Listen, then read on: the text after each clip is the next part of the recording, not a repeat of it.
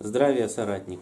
Ну, наверное, пришло время дать миру не свободную энергию, а ну, свободную биоэнергию. Она же называется аргон, она же называется хронон и прочее, прочее, микролептонная энергия. Все на самом деле просто. Та самая бифилярная катушка Теслы, она может быть конической, со скошенным верхом, не, просто конической. Обычная бифилярка на обычной индукционной печке. Сейчас не включаю, потому что э, печка шумит, но я ее включу в конце ролика.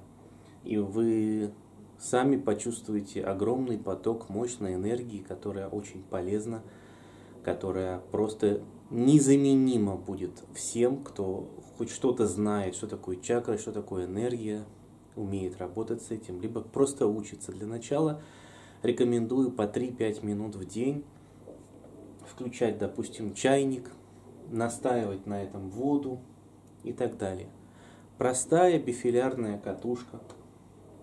У меня сверху положено много кристаллов и несколько магнитов для того, чтобы замедлить поток столб энергии.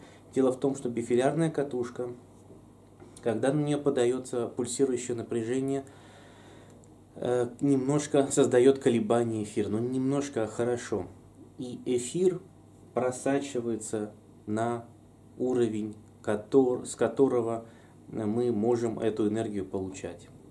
Это самый лучший генератор аргона, который э, я встречал. А я много их делал разных, с разными кристаллами, с разной формой катушек. Вот это еще старые эксперименты. У меня есть много кристаллов, с которыми я игрался. Так вот, кристаллы помогают выводить эту энергию на физический уровень. Но это не обязательно могут быть кристаллы. Это можно почувствовать и без кристаллов.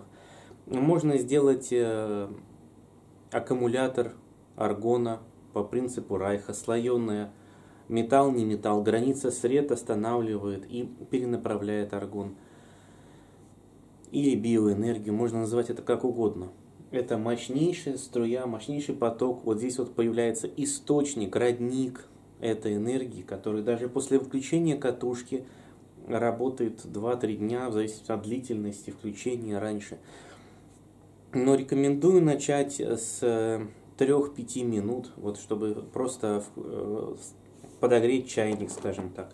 Потому что если шарик долго был в таком положении, его начать резко накачивать, то он просто лопнет. Вот чтобы не лопнул, рекомендую начинать по чуть-чуть.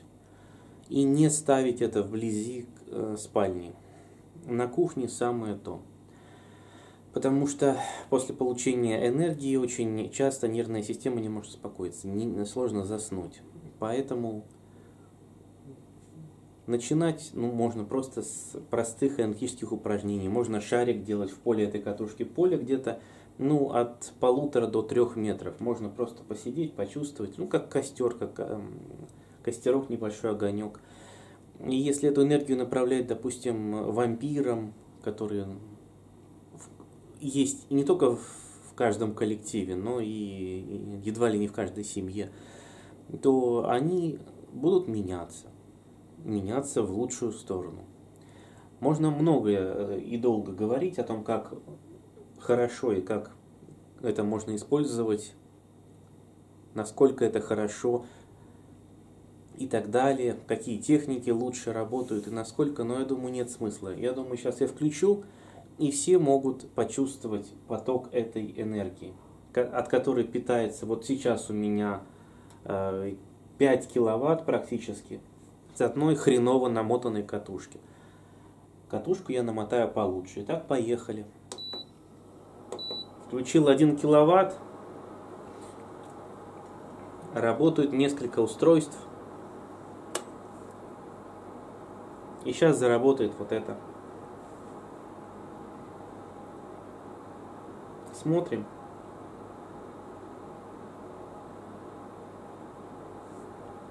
И чувствуем поток. Тут у меня магниты постоянные, потому что магниты могут либо восходящий поток давать, либо нисходящий, ферриты. Рекомендую ферриты, потому что если это будет, допустим, железобор-неодимовый магнит, который я показывал, ну, он проработает недолго, потому что нагреется до 80 градусов в этом поле, и магнита у вас не будет. Поэтому надо его ставить повыше. Можно ставить кристаллы в магнитном поле, можно ставить органиты. Органиты тоже будут замедлять поток и энергию.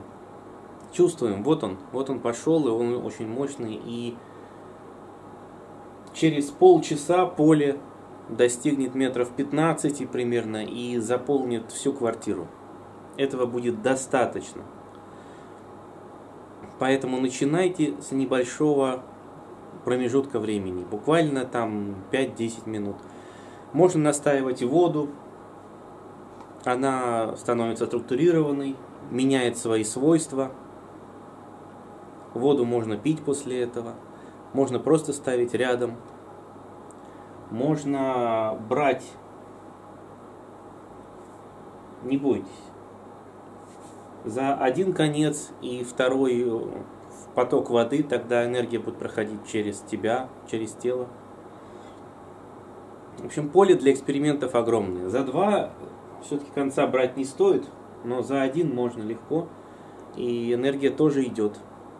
Идет, и причем неплохая на очень высоких уровнях. Это очень высокочастотная энергия сминает, уничтожает всякую, все порчи, все присоски энергетические, вампирские и так далее.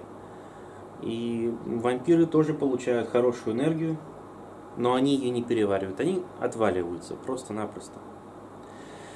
Итак, на сегодня достаточно. Это, можно сказать, первый дар мой миру. Пользуйтесь, пожалуйста. Это не свободная энергия. Для свободной энергии мир еще не готов. Это год 23 примерно будет. А вот свободную биоэнергию, пожалуйста. Итак, можно и так чувствовать без всего, а можно поставить замедлители. Это органит, это слои а, органика, не органика, проще говоря, фольга и бумага, листов 100, 150. И это будет тормозить эфир, аргон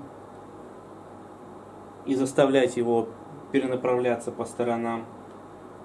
Это магниты, это кристаллы. Можно все вместе. Добра, пользуйтесь. И помни, воин, все только начинается. Пока.